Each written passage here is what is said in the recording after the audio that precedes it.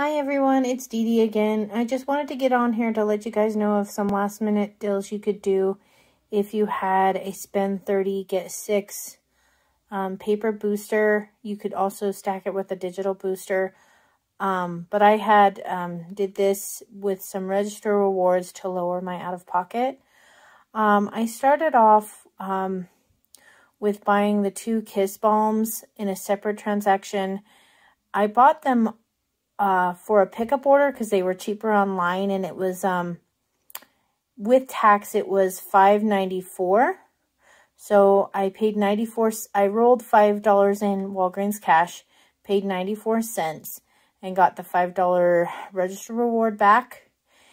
And then um, for the spend 30 get $6 deal, uh, what I did was I, I did the Crest deal, which was the the um, Glide picks you can see on the top there.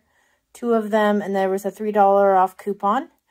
And then I got the Scott, which had the IVC a dollar twenty-five off coupon and a dollar manufacturer.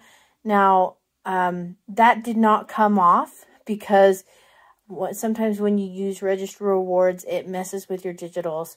And you, and usually that Scott coupon has problems coming off anyway. So it didn't come off. Um, uh, and then I got the Palmolive, which had the 50 cent coupon. That didn't come off either. Same same deal. It was because of the register rewards. Um, I also got the coffee filters um, those did not have a coupon, but I did have a 20, uh, uh, save 25% on your next in-store purchase um, coupon that I used. And then the Aunt Jemima is on sale, um, two for four. We like that in our family. My, uh, we like to make that for waffles. anyway, and let me see, did I cover everything? Um, there's a box in the bottom there. Don't pay attention to that. I'm in my my office storage area, so that's not part of the part of the deal. Uh, anyway, my total was, let me see here.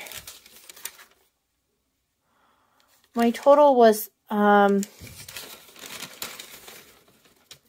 $10.85 with um, tax after all the coupons came off.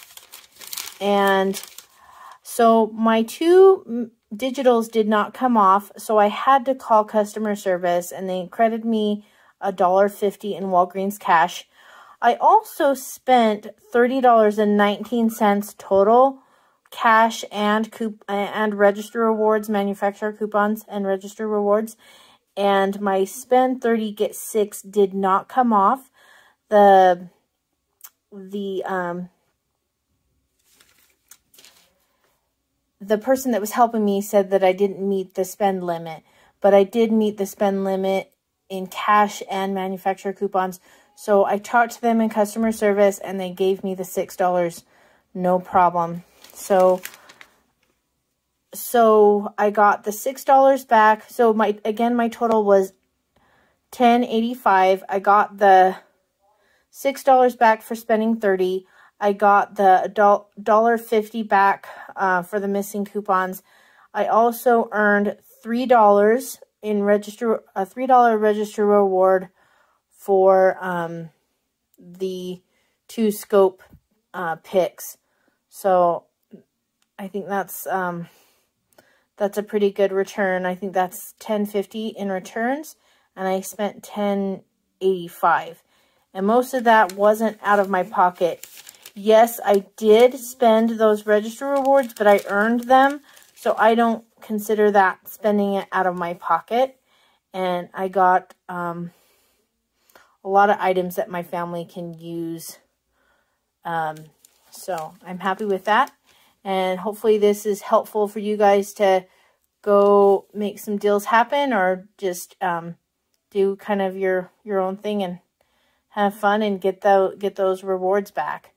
So I hope you guys are having a great um, Saturday, and I'll talk to you soon. Bye-bye.